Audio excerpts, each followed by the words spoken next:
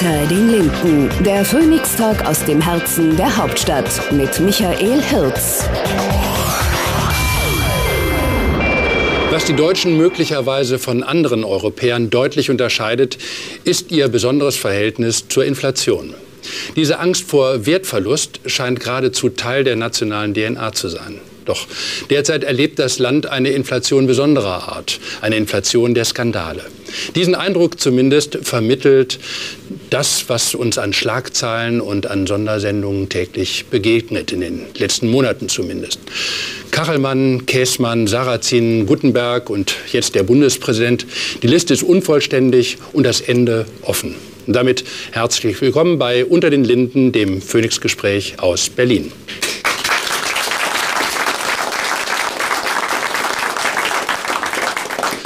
Leben wir in einer Republik der Skandale, vielleicht sogar in einer Bananenrepublik? Oder nehmen die Medien stellvertretend für die Öffentlichkeit ihr Wächteramt in der Demokratie nur präziser wahr?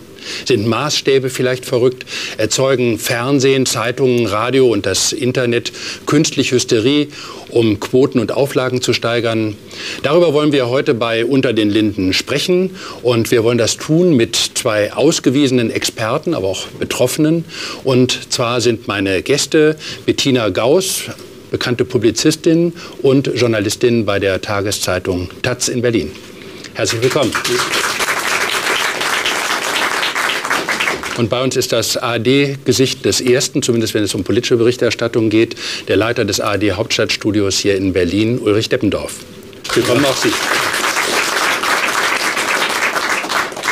Frau Gauss, wenn man den Bundespräsidenten in den letzten Tagen so erlebt bei öffentlichen Auftritten, äh, dann muss man sagen, er hat ja zumindest gute Nerven und eigentlich macht er bei diesen Auftritten doch nicht so viel verkehrt. Nötigt Ihnen das Respekt ab? Das nötigt mir keinerlei Respekt ab. Und es ist natürlich eine Frage, was man unter verkehrt versteht. Ich halte die ganze, na, ich, ich wage das Wort Krisenmanagement für das, was ich da seit Wochen mir angucke, gar nicht zu nennen, äh, das Wort gar nicht auszusprechen. Ich halte das, was er tut, für prinzipiell falsch und ich wundere mich ehrlich gesagt auch über einige Reaktionen öffentlich, die ja jetzt es gibt ja immer so ein Konjunkturbarometer. Mal ist es ganz schlimm, was er tut, mal ist es ganz wunderbar, was er tut, mal ist es so mittel. Und seine jüngsten Auftritte werden ja eher wohlwollend wieder zur Kenntnis genommen, als es noch vor einer Woche gewesen ist. Um offen zu sein, mir ist das vollkommen unbegreiflich. Mhm. Das spricht ja eher dafür, dass seine Strategie gar nicht so erfolglos ist. Aber da werden wir im Laufe der Sendung sicher noch... Das glaube ich nicht, denn es ist nicht zu Ende. Die Messe ist noch nicht gelesen. Gut, auch da werden wir gleich noch drüber sprechen, auch über Details des Krisenmanagements und die Frage, was ist denn wirklich irgendwie Kern dieser äh, Geschichte. Ähm, Uli Deppendorf, Sie haben das erste große Interview mit dem Bundespräsidenten geführt, nachdem diese Vorwürfe äh, öffentlich gemacht worden waren und öffentlich äh, geworden sind. Äh, mit welcher Absicht, mit welcher Intention sind Sie eigentlich in dieses Gespräch reingegangen? Wir wollten versuchen, aus dem Bundespräsidenten ein bisschen mehr Wahrheit herauszubekommen, als er das davor hat verlauten lassen. Ihn zeichnet ja aus, dass er bei seinen Ausführungen immer so ein bisschen knapp an der ganzen Wahrheit vorbeigegangen ist. Mindestens. Andere, mindestens, andere nennen das schon schärfer. Ähm, wir haben versucht, äh, da mehr herauszufinden. Wir wollten auch von ihm wissen, ob er vielleicht ein Gespür dafür bekommt, ähm, was er vielleicht auch falsch gemacht hat, welche falschen Ansätze er hatte, ob er vielleicht was verwechselt hat, ob er zu schnell oder zu kräftig in einer ganz bestimmten Schicht in Hannover eingetaucht ist und da die Maßstäbe dann verloren hat. Ähm, wir hatten nicht viel Zeit wir durften eigentlich nur 15 Minuten, haben dann aus eigener Machtvollkommenheit 21 Minuten gemacht. Ähm, ich glaube, es ist uns teilweise gelungen. Äh, manches hätte man sicherlich noch äh, weiter ausführen können. Das waren aber unsere Intentionen, doch zu zeigen oder aus ihm herauszuholen. Wie war es wirklich? Hat er eine Art von Selbstkritik? Ähm, die hat er in Teilen geäußert. Aber er hat ja ein Schutzschild um sich herum. Der ist, kann man sagen, mit dem Wörtchen einmal Mann und einmal wir. Also es gibt so zwei Präsidenten. Es gibt den großen Oberpräsidenten Wulff und darunter ist dann der andere Präsident Mann, äh, der sozusagen immer ja versucht, äh, Erklärungen zu finden, warum etwas von Mann nicht so gelaufen ist, wie man sich das eigentlich äh, richtigerweise hätte vorstellen können. Das haben wir versucht, ein bisschen rauszufinden.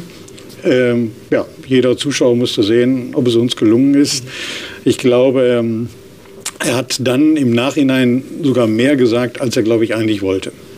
Das heißt, insofern haben sich Ihre Erwartungen schon erfüllt, weil Sie ihm etwas entlockt haben, was er nicht zwingend von alleine gesagt hätte. Ich glaube schon, ja. ja. Äh, Frau Gauss, versuchen wir doch mal diese, ähm, diesen Fall, diese Affäre, diese Causa, sagt man ja immer gerne, um es ein bisschen neutraler äh, zu halten, Wolf, äh, so einzuordnen in die deutsche Nachkriegsgeschichte. Wenn man mal sieht, welche Affären, welche Skandale es gegeben hat seit 1945, das waren ja eine ganze Reihe. Das war äh, Globke, der im Kanzleramt gesessen hat bei, bei Adenauer, das war die Spiegel-Affäre, äh, das war die Amigo-Affäre ähm, und, und, und. Also da gibt es ja eine ganze äh, Reihe. Ähm, ist das, was wir jetzt um den Bundespräsidenten herum erleben, ähm, ist das so einzuordnen, dass man dachte, das ist so auf gleicher Spielhöhe? Na Moment. Oder ist das eine... Es ist ja wirklich in der Tat noch nicht vorbei. Also... Stand äh, heute. Stand heute verdichten sich die Anzeichen, äh, um es ganz vorsichtig auszudrücken, wenn man nicht sogar schon von einem Beweis sprechen kann, dass die niedersächsische Landesregierung das Parlament belogen hat auf entsprechende Fragen hin, nämlich ob an einer bestimmten Veranstaltung, ob da Staatsgelder äh, geflossen sind oder nicht. Äh, Früher war es so, bei Skandalen, die Sie erwähnt haben, dass es sowas gab wie eine politische Verantwortung. Das heißt, was ich besonders irritierend finde, ist, dass der Bundespräsident immer dasteht und sagt, aber davon habe ich doch nichts gewusst. Der hat also von allem Möglichen nichts gewusst. Der wusste nicht, dass ein Unternehmer für ein Buch von ihm eine Anzeigenkampagne geschaltet hat, hat mit dem auch nie geredet, obwohl sie gemeinsam Urlaub gemacht haben darüber. Er hat äh, nicht gewusst, dass er im Hotel abgegradet wurde. Er, wusste, er weiß alles Mögliche nicht und jetzt weiß er angeblich nicht, dass äh, auf eine entsprechende Frage, die im Landtag an die Regierung äh, gerichtet wurde, offensichtlich sein engster Mitarbeiter, sein siamesischer Zwilling, wie er selbst gesagt hat, und, ähm, Was er heute vermutlich so nicht mehr sagen würde. Und der Leiter der Sie Staatskanzlei. Den Sprecher, den früheren Sprecher von Ich meine Olaf Gläseke, ja. Hannover wie und in Berlin. Ich meine den heutigen Chef des Bundespräsidialamts, damals Leiter Staatskanzlei, Herrn Hagebölling, Herrn Hagebölling, dass die beiden, natürlich gilt die Unschuldsvermutung, aber was bisher bereits undementiert bekannt geworden ist, äh, lässt doch den Verdacht sehr nahe, äh, sehr stark aufkommen, dass eben in der Tat das Parlament belogen worden ist. Und ich frage mich die ganze Zeit, warum es dann eigentlich noch um die Frage geht, was äh, Christian Wulff im Einzelnen gewusst hat. Die politische Verantwortung dafür trägt er in jedem Falle. Und um auf Ihre Frage zurückzukommen, das hat früher für einen Rücktritt durchaus gereicht. Selbst wenn man nicht mhm. dem jeweiligen Amtsinhaber ad personam nachweisen Gut, konnte, halt, also, beteiligt ja, gewesen zu sein. Dann halten wir fest, also da äh, in dem Punkt hat sich was getan, dass man früher eben in dem Fall dann tatsächlich sagte, ich übernehme die politische Verantwortung, weil es nicht in meinem Bereich hätte passieren können, selbst wenn ich nachweisen kann, ich als Amtsträger... Ich habe die Hoffnung noch nicht aufgegeben, mhm dass da das letzte Wort noch nicht mhm. gesprochen ist und dass man sich wieder darauf besinnt, was politische Verantwortung mhm. eigentlich bedeutet. Ich würde übrigens gerne noch ein, eine Sache hinzufügen. Was ich so eigenartig finde, weil Sie vorhin nach den Reaktionen fragten ist, dass jetzt so kommt, naja, es kommt doch nichts Neues mehr raus. Das ist doch immer nur dasselbe. Ich habe den Eindruck, das ist eher eine Langeweile mancher Medien am Thema und möglicherweise auch da eine Langeweile der drauf. Öffentlichkeit. Es kommt was Neues raus und zwar was substanziell Neues. Wenn wir darauf gleich kommen, will ich nicht nicht, Ihnen nichts vorwegnehmen. Also da sind wir sehr gespannt drauf, das halte ich fest, äh, wenn Sie da nähere ja, ja.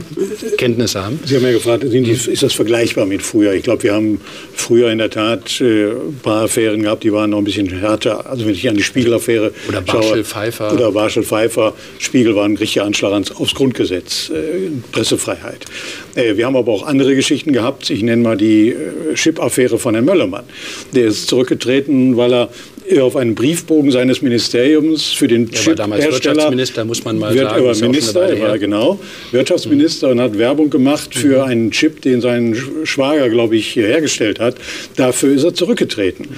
Ähm, wenn ich das mir nun anschaue, ist äh, da die Schwelle heute eines Rücktritts auf einmal sehr hoch angesetzt. Äh, und da müsste sich vielleicht mhm. auch ein Bundespräsident mal ein bisschen fragen, wie das früher in der Geschichte war, ob man dann nicht doch äh, den, den Mut und die Konsequenz ziehen muss, äh, sagen, ich Ja. Für mich war es das. Sie jetzt. haben das Stichwort genannt, äh, Bundespräsident. Müssen für einen Bundespräsidenten, der ja eigentlich keine sehr mächtige Figur ist, aber trotzdem äh, ähm, ein, ein, er ist sozusagen der Notar irgendwie der, der Bundesrepublik äh, Deutschland.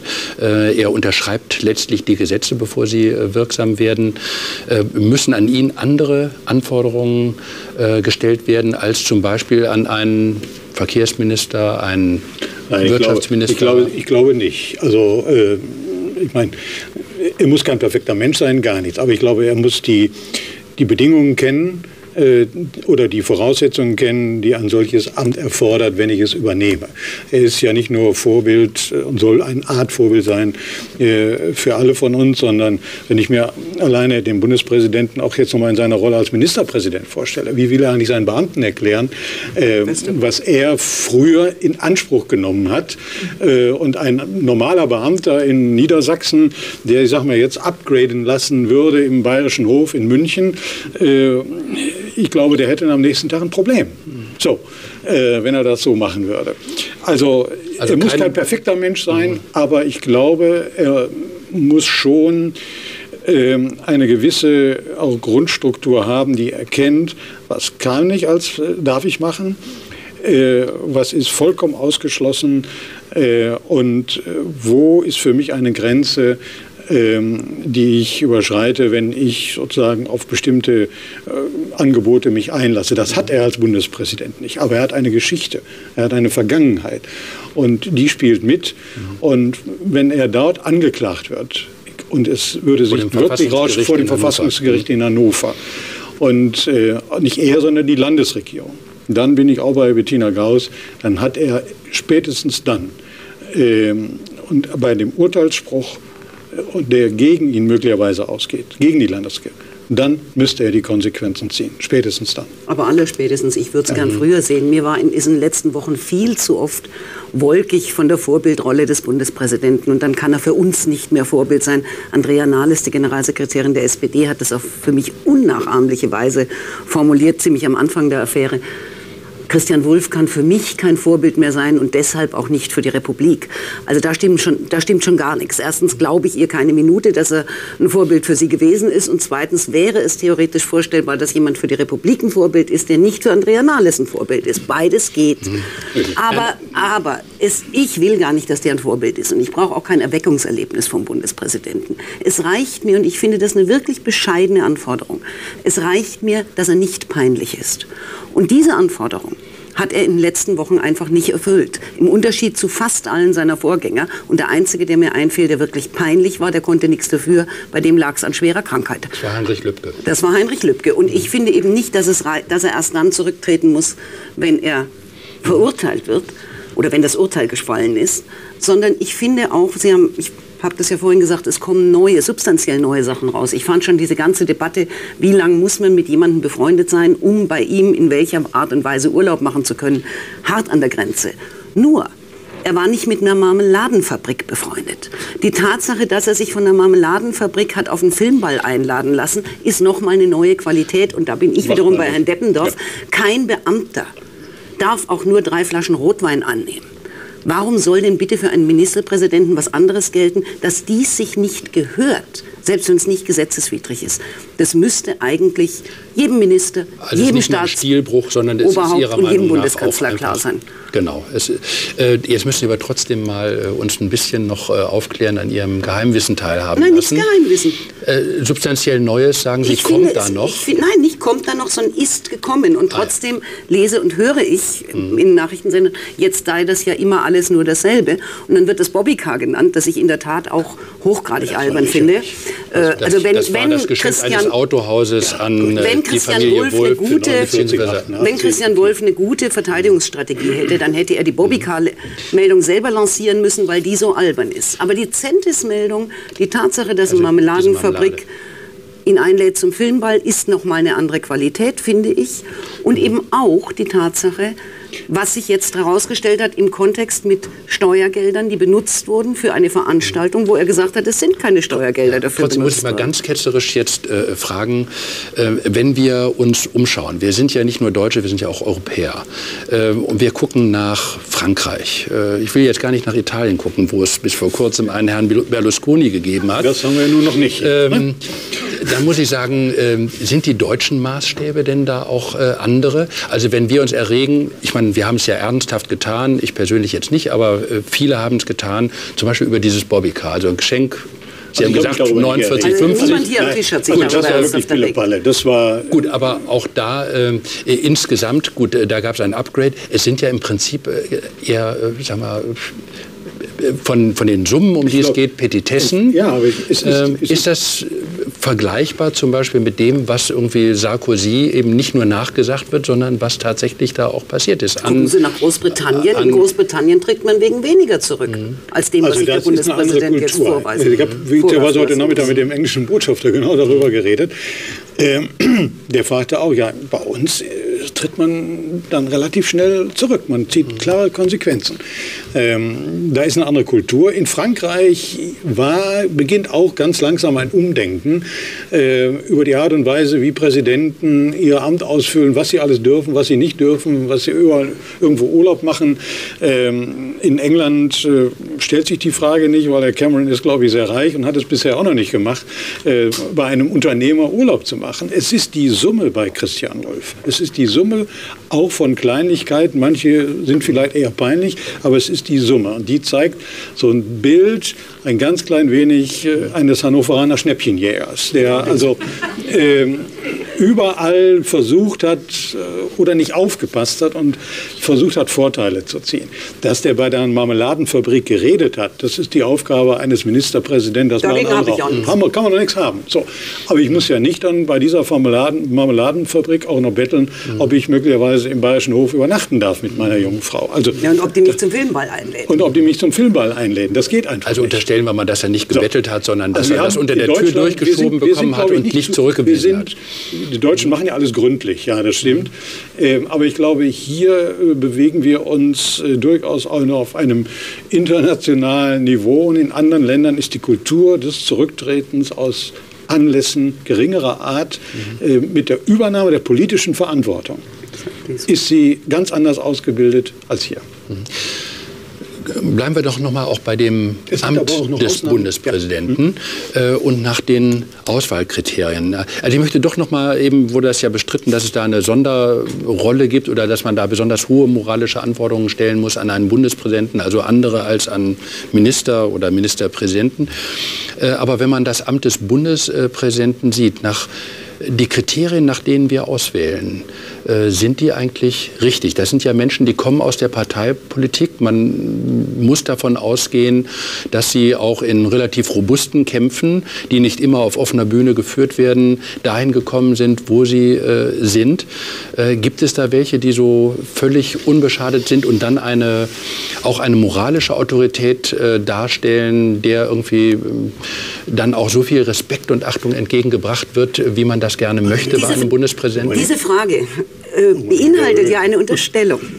Nämlich gibt es Leute, die so unbeschadet sind, das unterstellt in gewisser Weise, dass Christian Wulff ja auch nichts anderes gemacht hat als alle anderen. Da würde ich dann doch sehr viele Politikerinnen und Politiker sehr gerne in Schutz nehmen. Es gibt natürlich auch in dieser Berufsgruppe Schnäppchenjäger, aber es sind nicht alle.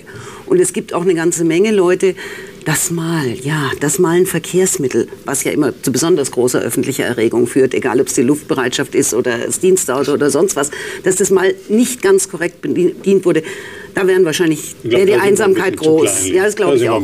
Aber es ist nicht so, dass sich alle Leute von Leuten, die Sie für glamourös halten, wie zum Beispiel eben Herrn Maschmeyer einladen lassen oder dass Sie äh, alle äh, ja, abgreifen, was sie abgreifen können. Und ich will auch Christian Wulff so ernst als Person und so wichtig als Person, ich rede nicht vom Amt, auch nicht nehmen, dass ich jetzt, weil jemand sich offenbar in meinen Augen als schlechte Wahl erwiesen hat, dass ich deswegen gleich das ganze System über Bord werfe. Ähm, die Vorstellung, dass ein Bundespräsident, was ja diskutiert wird, direkt vom Volk gewählt wird, führt zu einem, einer Polarisierung und dazu, dass es schwieriger wird, so über den Parteien zu stehen, wie es Leuten ja gelungen ist von Richard von Weizsäcker bis Johannes Rau.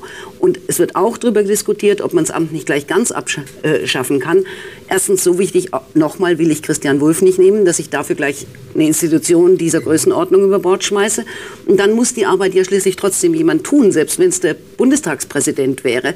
Also es ist ja nicht so, dass ein Bundespräsident, der noch imstande ist, sein Amt auszuführen, auszufüllen, leeren Terminkalender hätte. Nach meinem Eindruck ist der von Christian Wulff im Moment ziemlich leer, weil es einfach eine Menge Themen gibt, zu denen er nicht mehr reden kann. Also Kredit und Vertrauen und Integrität ist im Moment alles schwierig. Aber ein Bundespräsident, der über diese Also Themen reden der kann, Kern seiner Aufgaben, auch gerade zu diesen Themen. Richtig, und der Bundespräsident, der das kann, der hat einen vollen Terminkalender und das kann ja der Bundestagspräsident nicht noch mal so mit der linken Hand nebenher meine, wir, haben ausführen. ja, wir haben einen Fall gehabt. Johannes Rau war ja auch am Anfang in eine Affäre verwickelt, war die sogenannte sogenannte Flugaffäre. Ähm, Man muss das noch war im erklären. Vergleich.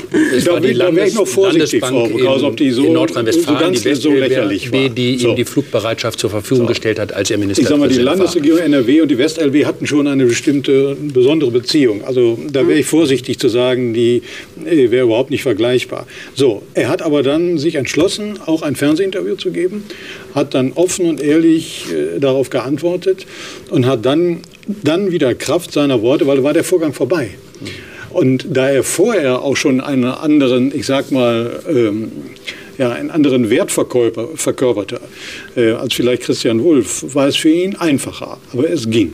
Ich will keinen Bundespräsident überhöhen, ähm, auch wenn man jetzt gesagt hat, ja, die waren alle so toll. Nun, mal ganz langsam. Also von Herrn Herzog ist ein einziger Satz übrig geblieben, äh, die Ruckrede. Durch Deutschland muss ein Ruck gehen. Richard von Weizsäcker war sicherlich derjenige, der äh, den, die beste Performance hatte, eben auch durch den 8. Mai. Heinemann schon auch. Ah ja, so. Heinemann war einer. Äh, Wir haben mit den letzten beiden Präsidenten Pech gehabt. Ähm, Horst Köhler als, war ja kein Politiker. Das war ja damals extra genommen worden, möglichst keinen Politiker äh, zu nehmen. Der hat nicht das Nervenkostüm gehabt, äh, um durchzuhalten. Das für- Christian Wulff ja ganz der Herr Wulff offensichtlich in hat. und der Wolf hat es. So. Und nun haben wir zwei Präsidenten, die Mhm. Sozusagen nicht er gerade, nicht gerade für, für dieses Amt besonders, ich sage mal, viel getan haben. Mhm. Und da glaube ich, denn wir müssen wieder einen Präsidenten haben, der etwas mehr, ich sage mal, Würde, Erfahrung, vielleicht auch Seriosität ausstrahlt und äh, vielen Sachen dann doch eher über den Dingen steht und sich nicht äh, einladen Das lässt. mal eine Präsidentin. Oder eine Präsidentin, ja klar. War immer Schrägstrich. mitgedacht, ist doch klar. Immer ja da. immer so. Immer da. Entschuldigung. Ja, gut. Aber es zeigt doch also der Versuch, eben sozusagen einen Quereinsteiger zu nehmen, wie äh, Herrn Köhler, ist daran gescheitert, dass er mit den Geflogenheiten in dieser doch eher ruppigen äh, Luft der Politik irgendwie nicht richtig zurechtkam. Er war, das darf man, glaube ich, äh, mit allem Respekt sagen, eine eher empfindsame Natur, äh, was Kritik anging.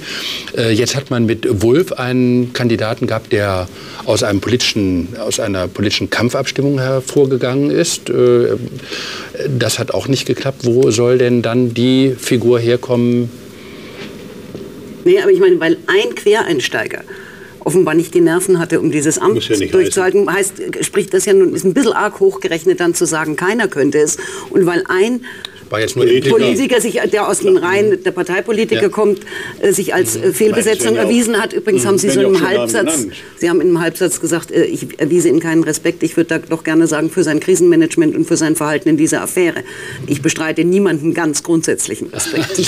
Das war nur, weil wir nee, nee, aber da, da liegt mir schon an der Präzisierung. sprachen, weil ich sagte irgendwie, aber er hält ja im Augenblick durch, was Ob ja zumindest sozusagen unter sportlichen nein. Gesichtspunkten äh, eine beachtliche Leistung Ja, aber ist. das finde ich genau das Problem. Ich glaube, er verwechselt noch immer. Ich glaube, er ist auch relativ stolz darauf, dass er durchhält. Und er tut immer noch so, als ginge es um ihn persönlich und nicht ums Amt. Also er hält das durch, er lässt sich nicht äh, vom Hof jagen, er ähm, sieht sich sich als Opfer einer, einer Opfer der Medienkampagne. Und es ist auch kein persönlicher Streit zwischen Herrn Wulff und Herrn Diekmann, dem Chefredakteur der Bildzeitung, sondern dieses ist selbst wenn das, es gibt ja solche Tragödien. Ich glaube, wir sind hier nicht, wir sehen sowas nicht. Aber selbst wenn die Vorwürfe alle unbegründet und unberechtigt wären, was sie gar nicht sein können, weil einige Sachen sind ja unbestritten. Nur selbst wenn es so wäre, gibt es eine Situation, wo jemand dann trotzdem sagen muss, ich muss, ich kann dem Amt nicht mehr gerecht werden. Ich erinnere in diesem Zusammenhang an den Rücktritt von Willy Brandt nach der Guillaume-Affäre. Dem hatte man einen Spion ins Kanzleramt gesetzt, als er Kanzler war. Er mhm. wusste Richtig. es natürlich nicht. Und nein, und er hat es, und es ist eine einhellige Meinung über Parteigrenzen hinweg, dass ihm an diesem auch Versagen des Geheimdienstes, das muss man auch einfach so sehen, kein Vorwurf zu machen ist und dass da andere Leute, trotzdem hat er gesagt, ich kann unter diesen Umständen nicht Bundeskanzler ja. bleiben. Wobei nur ein Halbsatz dazu, ich will das aber nicht vertiefen, äh, er war natürlich zu dem Zeitpunkt auch schon ein sehr geschwächter Kanzler und wenn sowas dazu kommt, dann äh, bleibt Während möglicherweise nur ein, ein sehr starker Bundespräsident ein, ist. Äh, wir sind noch nicht am Ende der Geschichte, haben Sie ja eben selbst gesagt.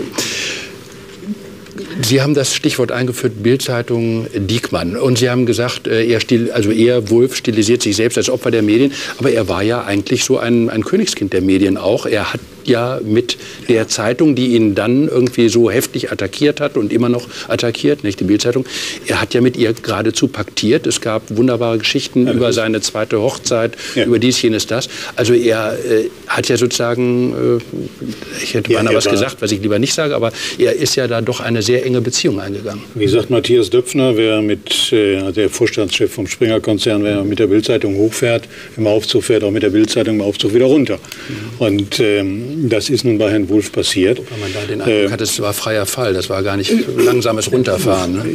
Wahrscheinlich freier Fall, in dem Fall sicherlich richtig. Ähm, ja, er hat ähm, ich glaube, die, die Hannoveraner-Szene um ihn und Herrn Gläsecker herum hat eben sehr stark gerade diese Medien wie Bild und Bunte benutzt, äh, um das Bild des äh, Christian Wulff dort aufzubauen. Er hat es selber auch äh, befürwortet. Ähm, er ist, glaube ich, eher der Ansicht, dass er hier in Berlin zu schnell mit der Bildzeitung gebrochen hat und dass die deswegen möglicherweise äh, diese Geschichte dann gegen ihn gefahren haben.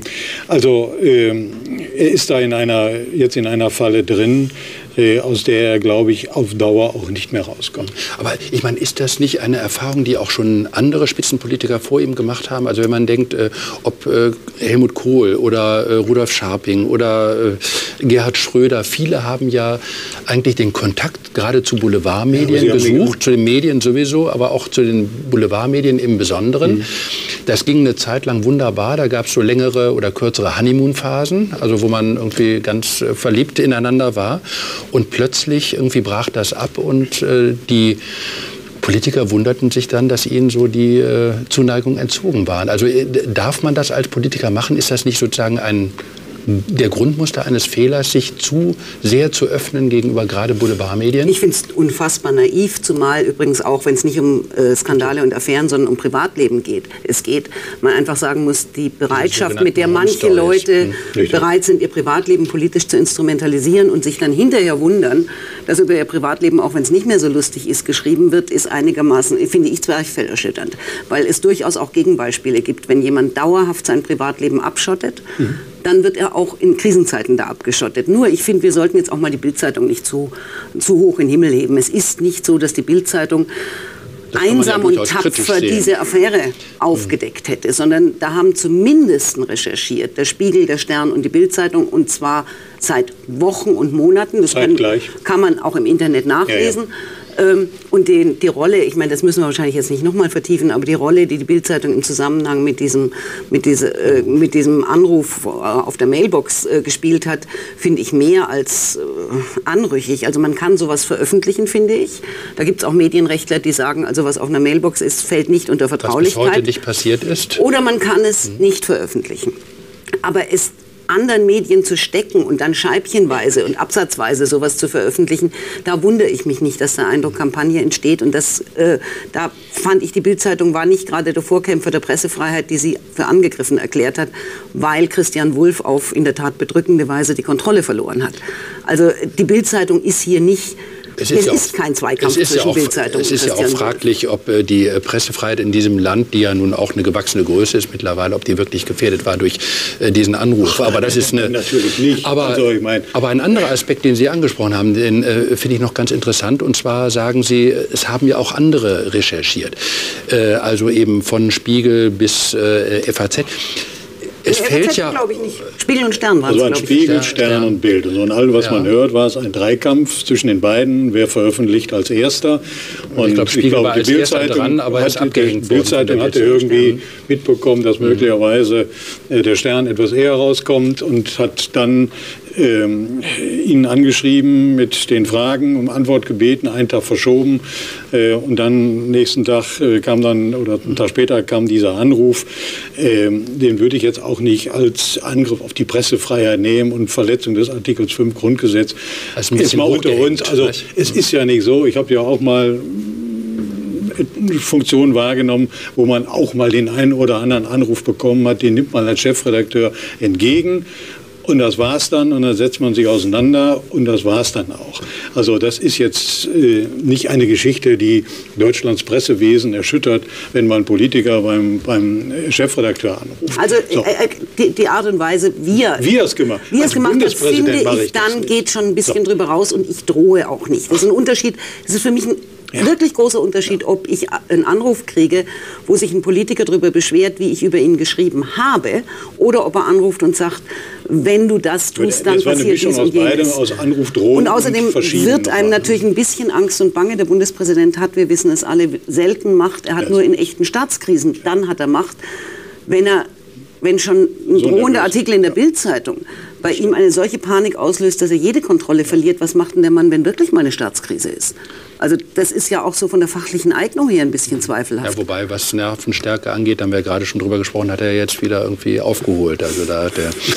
Ähm, aber äh, äh, kommen wir noch mal zu auch den, den anderen Medien. Man hat, äh, was erstaunlich ist, oder was ich erstaunlich finde, ist, dass es doch eben so eine gleiche Stoßrichtung gibt und auch eine gleiche Bewertung und äh, ein gleiches Wichtignehmen äh, aller relevanten Medien in diesem Land, was diese, diese Affäre angeht. Also da hatte man ja den Eindruck, da passt eigentlich in der Stoßrichtung auch kein Blatt Papier zwischen zum Beispiel die FAZ, eine eher bürgerlich-konservative Zeitung, ähm, und äh, was weiß ich. Äh, Vielleicht liegt es daran, dass es objektivierbar äh, einfach hier Normen verletzt worden sind, die was wert sind und die sich weder die Medien noch auch die Öffentlichkeit, die inzwischen ja auch nicht mehr so beglückt ist über den Bundespräsidenten, einfach wegnehmen lassen will. Dass die Idee, wir können es nur noch mal wiederholen, die Idee, dass Politiker sich als Schnäppchenjäger betätigen, einfach eine Idee ist, die sehr vielen Leuten, seien sie Journalisten oder nicht, nicht gefällt. Da kommen mir jetzt die Medien ein bisschen sehr gut äh, weg, weil das klingt jetzt alles sehr, sehr edel. Es kann ja auch in dem äh, Fall so sein. Auf der anderen Seite hat man ja auch, gehen wir mal eine, zwei Affären zurück, da haben wir uns im vor einem Jahr unterhalten über Herrn äh, von und zu Guttenberg. Äh, da hatte man erst den Eindruck, äh, ob Stern, ob Spiegel, ob äh, Bildzeitung, äh, ja, ja. die haben ihn in den Himmel gehoben, auch wirklich im Gleichschritt geradezu um dann irgendwie sozusagen, als der Hebel umgelegt wurde, auch gleichermaßen zu sagen, dass, ich glaube, die Bildzeitung muss man da ausnehmen, die hat ja bis zum Schluss tapfer zu ihm gehalten. Aber und die Zeit. Es, und Giovanni Di Lorenzo hat der es inzwischen, wie wir wissen gesagt. und wie er es öffentlich bekundet hat, äh, sehr bereut hat. Jeder hat ja mal eine schwache. Ne? Also, ja, absolut, ja. Äh, absolut. Ähm, aber so, äh, ich wollte nur sagen, äh, sind die Medien da auch äh, enger aneinander gerückt, vielleicht in den letzten also ich, ich Monaten glaube, und Jahren? Und woran könnte das liegen, wenn es so wäre? Ja, ich glaube, eine, ein Punkt ist sicherlich, das hören viele nicht sehr gerne, sind die, ist das Online sind äh, die sehr schnelle Verbreitung von Nachrichten, die sehr schnelle, auch zugespitzte Meinungsmache. So, das hat sicherlich führt zu einer Art, ich sage mal, hier und da schon mal Herdentrieb. Und man muss auch schon mal selber eigene Redaktionen äh, dann sagen, pass mal auf Leute, so würde ich das jetzt nicht so sehen. Da gibt es auch noch einen anderen Punkt, sollten wir vielleicht darauf gehen. Also der Herdentrieb äh, hat ein wenig zugenommen. Bei Gutenberg war es einfach so, das war ein, ein, ein Typ, der kam wie irgendwie ganz jung und frisch hier nach Berlin. Äh, alle sind drauf reingefallen, war ein Glamour-Paar. Ähm, hat auch paar ja Geschichten zunächst verbal äh, auch angegangen, wo man gesagt hat, oh, da traut sich einer was. Nehmen wir mal Abschaffung der Wehrpflicht, ob das gut war oder nicht, mhm. oder Bundeswehrreform. Und das als Unionspolitiker. Und das als Unionspolitiker. Also da war ein, ein Typ, der auf einmal äh, sehr viel anders gemacht hat als die traditionelle Union. Mhm. So. Dass der ein Plagiator war, äh, hat man dann erst später herausgefunden. Und dann sind in der Tat bis auf die eine Zeitung, die Sie gerade erwähnt haben, äh, und nachdem die Kanzlerin ihm dann auch noch gesagt hat, ich habe ja keinen Doktoranden eingestellt, sondern einen Minister, das war natürlich dann die Beleidigung, wie sagen wir jetzt in Anführung der gesamten deutschen Wissenschaft, da war er geliefert. So, ähm, also, aber es ist auch ein Beispiel, Gutenbergs waren überall in jedem Medium haben sich ja. geöffnet. Ja, und wer in, sein in Privatleben öffnet, ja. äh, der muss damit rechnen, mhm. dass am Ende alles wieder geht. Und das waren ja dann Lobhudeleien in teilweise okay, kaum noch steigerbarer ich finde Form. Eben, da, da muss man wirklich mhm. trennen. Zwischen der Frage, ob Leute zu stark hochgeschrieben werden, gehypt werden, um es neudeutsch zu sagen, eine Starqualität entwickeln, was ich im Einzelfall unangenehm finde. Aber gut, das ist halt so, da bin ich bei Ihnen, das ist Teil der Medienwirklichkeit oder wie Medien darauf reagieren, wenn neue Informationen bekannt werden. Äh, eine gefälschte Doktorarbeit kannten wir nicht. Und auch Sie haben ganz zu Beginn dieser Sendung ein paar Skandale in eine Reihe gestellt, wo ich zum Beispiel Christian Wulff in Schutz nehmen möchte. Ja, es ist ein Kachelmann, ja. ist einer Straftat beschuldigt worden. Er wurde dann freigesprochen und dieses musste geklärt werden vor einem Gericht. Also in der Tat unterstellt niemand dem Bundespräsidenten, äh, sich einer Straftat von dem Ausmaß schuldig gemacht zu haben, dessen Herrn Kachelmann angegriffen worden ist. Und ich meine, wie gesagt, ich fand Herrn Gutenberg schon als Minister nicht so klasse, aber aus politischen Gründen. Nur die Frage stellt sich doch Damals in dem Moment nicht mehr, wo jemand, ab, sich, wo jemand ja abgeschrieben ganz, hat. Äh, ganz also ich meine, zufrieden das ist doch eine sein. ganz andere Frage. Die Frage, äh, die ich aber äh, gestellt hatte, war ja, und Uli Deppendorf hat ja gesagt, das Internet ist da so ein Treiber. Es gibt so eine so eine, ich sag's mal ganz böse, so eine Meutenbildung dann, äh, auch was Berichterstattung angeht. Ähm, ich meine festzustellen, dass das nicht immer so war, äh, dass, sie, dass das eher so ein bisschen äh, zugenommen hat. Und ist, könnte das Internet tatsächlich so ein Treiber dieser Entwicklung sein? Das Internet führt in der Tat, also der ganze Online, aber auch die, die Beschleunigung bei den elektronischen Medien und die Vielfalt der Sender, die es inzwischen gibt und die miteinander konkurrieren, führt zu einer massiven Beschleunigung und dazu, dass man manchmal wirklich gar nicht mehr dazukommt, noch einen klaren Gedanken zu fassen, weil atemlos irgendwas rausgehauen wird. Die Meutenbildung, wie Sie das nennen, äh, die hat es natürlich früher auch gegeben, nur vor anderen Vorzeichen. Also es gab Zeiten, und da bin ich ehrlich gesagt ganz froh, dass das nicht mehr so ist, wo klar war, welches Medium steht einem Rechten nahe, welches Medium steht einem Linken nahe und äh, wo völlig klar war, die, FAZ, die FAZ hätte ja. damals keinen CDU-Politiker angegriffen ja, ja. und die heute Taz hätte keinen CDU-Politiker verteidigt und dass das heute nicht mehr so ist. Früher war es eine politische, ein also eine, eine, journalistische, politische Meute und heute ist es eine journalistisch Themenmeute, mhm. äh, die äh, immer wieder da hineingeht. Und es ist schwieriger heute, das auf jeden Fall auch mal einen verqueren Gedanken mhm. zu positionieren. Weil es alles schneller geworden ist, härter, man auch nicht immer die Zeit hat, irgendwie dann nochmal abzuwägen, die man ja früher hatte. Also wenn früher eine Zeitung gemacht wurde, das war ja dann doch noch in einer, in einer anderen es Taktung. Ist, ja, es ist, ja, es ist schneller, es ist die Anzahl der Sender, die Anzahl der Meldungen, die, die Qualität auch irgendwann? Ja, natürlich. Äh, leidet die Qualität ich sag, Selbstkritisch muss man sagen, irgendwann ja. Und sicherlich auch in den letzten Jahren hat es immer mal Fälle gegeben, wo man gesagt hat, da hätte man lieber noch ein bisschen mehr Zeit gebraucht, um vielleicht den zweiten oder dritten Gedanken zu haben oder man hätte noch mal nachfragen müssen. Aber ich sehe da schon eine große Gefahr. Wenn diese Schnelligkeit weitergeht, wird das unweigerlich auch mal äh, auf die Qualität zurückschlagen. Mhm. Es tut es doch bereits. Ich meine, die Leute planen doch auch danach. Also ich meine, es ist doch auch kein Zufall, wann zum Beispiel ein Interview wie das, äh, das Christian Wulff ARD und ZDF gegeben hat, aufgezeichnet und äh, gesendet wird. Es war völlig klar, er macht es zu dem Zeitpunkt, wenn es spät wird für die Printmedien, noch das zu kommentieren, was er eigentlich gesagt hat. Und so, wie, so schnell, wie das Nachrichtengeschäft heute ist, hatte er eine reelle Chance, dass man dann am nächsten Tag sagen würde, naja, jetzt ist es ja eine Nachricht von vorgestern, wenn wir morgen erscheinen, jetzt also, ist es zu spät.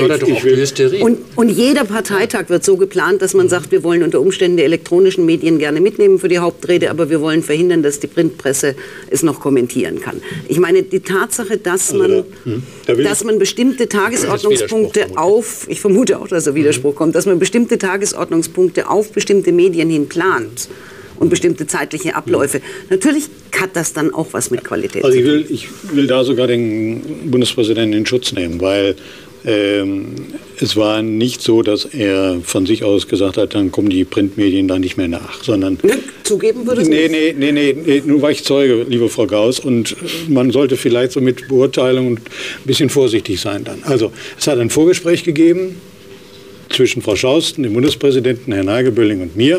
Und da ist genau auch darüber beredet worden, wann machen wir das. So, und dann haben wir gesagt, okay, äh, wir würden es um 17 Uhr gerne aufzeichnen, 17.30 Uhr und nicht zu spät machen. Da hat er zugestimmt. Wir haben dann gemeinsam überlegt, wie kriegen wir die Sperrfristen und wie kriegen wir sozusagen die Medien, auch die Printmedien noch rein. Wir haben sogar Angebote gemacht, ähm, bei uns ins Studio zu kommen mit Agenturen, mit Printmedien. Das ist dann wieder verworfen worden. Dann ist es sozusagen auf die Bundestagsfernsehschiene gegeben worden. Also das, ich bin nicht dazu da, Herrn Wolf nur in jeder Position in Schutz zu nehmen. Aber hier, glaube ich, unterstellen Sie etwas, was er so nicht mhm. geplant hat nicht so, dass Nein. er nicht wollte, dass es live gesendet wird? Nein, das wird? war nicht so. Ne? Das war eine gemeinsame Entscheidung von uns allen, Gut. es äh, um 17 Uhr, 17.30 Uhr aufzuzeichnen. Sie haben ja eben das Wort von der Unschuldsvermutung äh, ausgesprochen. Das muss jetzt auch für Uli Deppendorf gelten. Ja, ich war ja aber kommen wir doch. ist das keine, weil das aber eine Aussage war. Und ja. äh, bei Wolf geht es ja auch um Aussagen. Es ist immer die Frage, glaubt man es oder glaubt man es nicht. und äh, ich hoffe mal, Frau, Frau, Frau Kraus glaubt Ihnen das ohne Einschaltung eines Gerichts. Ja. Ähm, aber wenn es tatsächlich so ist, dass das Internet ein unglaublich brutaler Treiber ist, dass das auf Kosten von Abwägen geht, also dass es wirklich journalistische Qualität angreift auch äh, oder sozusagen zum Überdenken von Standards äh, führt. Wie kann man denn dagegenhalten? Welche Möglichkeit gibt es, das sozusagen so zu entschleunigen, dass dann also ein Stück Seriosität, das vielleicht verloren gegangen ist, also wieder Wir diskutieren zurückkommt? schon seit zehn Jahren über, also seit das Internet jetzt kommt, immer wieder ums äh, Entschleunigen. Ähm, ich glaube, da ist nicht mehr allzu viel zum Entschleunigen. Äh, die Konkurrenz ist da. Ich vermute, es wird eher noch zunehmen, äh, weil bei den Printmedien natürlich das Internet viel mehr, also bei den Zeitungen noch viel mehr in den Vordergrund treten wird. Die Konkurrenz wird dann noch viel größer werden. Das Internet wird ein Geschäftsmodell bei den Zeitungen mehr werden als der Printsektor. Also das ist, äh, glaube ich, da werde ich mit Entschleunigen ähm, vorsichtig. Es ist ja auch nicht so, dass es nur schlecht ist. Wir haben ja heute im Internet so viele Informationen so schnell parat wie sonst, glaube ich, noch nie in der Geschichte des Informationszeitalters. Nicht nur im Internet, mittlerweile auch auf dem Fernsehschirm, wenn wir wollen. Ähm, ich glaube, es ist eher eine Frage, wie eine Redaktion sich dann aufstellt und sagt, okay, äh, wir lassen auch mal äh, Raum dafür, dass hier eine andere Strang verfolgt wird, dass eine gegenteilige Ansicht auch mal äh, präsentiert wird ähm, oder auch mal sagt, äh, okay Freunde, wir gehen in diese Geschichte nicht rein weil wir, wir wissen oder wir sind der Ansicht, an dieser Geschichte ist so mhm. nichts dran. Aber damit, ähm, also wenn es nicht gelingt, da eben tatsächlich so einen Damm einzuziehen, ist ja die Gefahr, dass eben nicht nur, wie wir es erlebt haben, die Politik an Glaubwürdigkeit verliert, sondern auch die, die Medien an Glaubwürdigkeit äh, äh stark so verlieren. Das, dieser Tenden, diese Tendenz ist ja da, weil die Menschen wollen das, ja... Mir ist das zu pauschal. Also ich glaube in der Tat, man kommt, wir haben ja die Folgen, mhm. die problematischen Folgen von Beschleunigung erörtert gefordert. Nur, ich glaube, dass es jetzt schon eine gegenläufige Bewegung gibt. Und zwar nicht, indem man sagt, wir schaffen das Internet ab oder auch nicht, ja. wir sagen, wir gehen auf irgendein Thema nicht drauf. Ich glaube, das ist nicht auf Dauer durchzuhalten. Sondern die Erwartungshaltung auch der Konsumenten ändert sich ja. Mhm. Also wenn man früher gesagt hat, ich informiere mich über eine Tageszeitung ich glaube, dass sich sehr wenig Menschen über eine Tageszeitung, über die Nachrichtenlage heute noch informieren. Die informieren sich aus elektronischen Medien und aus dem Netz. Aber sie erwarten von der Tageszeitung eine ausgeruhtere Hintergrundberichterstattung, als sie das wahrscheinlich vor 40 Jahren getan haben. Und es zeigt sich auch, dass bestimmte Publikationen, die nun wirklich nicht leicht zu lesen sind unter Umständen, Lettre International oder Le Monde Diplomatique, Economist, äh, dass die ja durchaus nicht weniger gelesen werden, sondern also vor fünf Jahren haben alle von der großen Krise des Printjournalismus geredet. Im Moment ist es da ein bisschen stiller geworden. Ich glaube, dass sich auch eine Erwartungshaltung des Publikums an das, was sie von den verschiedenen Medien unterschiedliches das heißt, erwarten, Publikum verändert. Wird, wird kritischer und Qualitätsmedien haben noch eine Chance, beziehungsweise vielleicht sogar noch eine große Zukunft. Ja. Wir sind am Ende der Sendung. Äh, ich bedanke mich bei Ihnen für das äh, differenzierte und aufschlussreiche Gespräch. Ich bedanke mich bei Ihnen fürs Zuschauen. Ja, Blick in die Zukunft, ähm, was die Causa Wolf angeht, ähm, ist schwer, wie jede Prognose, die auf die Zukunft gerichtet ist, schwer ist. Äh, ich bedanke mich für Ihr Interesse, wünsche Ihnen noch einen schönen Tag und schönen Abend.